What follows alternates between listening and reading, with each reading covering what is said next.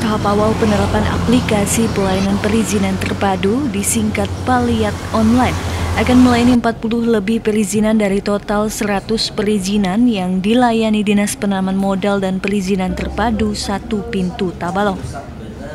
Perizinan yang dapat diakses melalui aplikasi tersebut berasal dari tiga jenis layanan perizinan, yaitu perizinan usaha dan perdagangan, pariwisata, serta kesehatan. Aplikasi Baliat juga ditargetkan paling lambat Juni mendatang sudah dapat dimanfaatkan masyarakat. Namun saat ini masih dipersiapkan sarana prasarana penunjang aplikasi tersebut.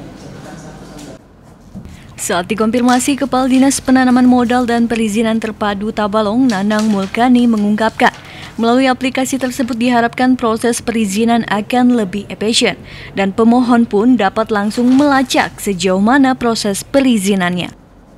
Yang jelas uh, dari segi waktu tentu ini akan lebih efektif, apa lebih efisien maksud saya, lebih efisien karena orang tidak harus bolak-balik datang, cukup satu kali datang saja. Itu yang pertama. Yang kedua, dengan penerapan perizinan online, pemohon ini bisa melakukan tracking, bisa memonitor sampai sejauh mana proses izinnya sudah.